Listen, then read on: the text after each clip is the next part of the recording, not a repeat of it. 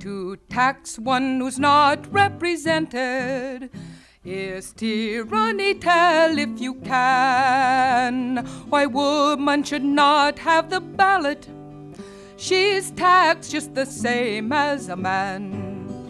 King George, you remember, denied us the ballot but gave us the tea. And we, without asking a question, we dumped it into the sea. Then to justice let's ever be true. To each citizen render his due. Equal rights and protection forever.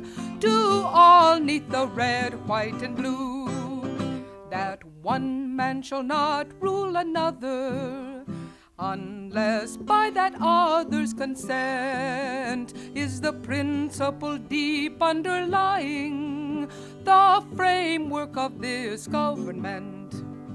So, as woman is punished for breaking the laws which she cannot gainsay, let us give her a voice in the making, or ask her no more to obey. Then to justice let's ever be true, to each citizen render his due.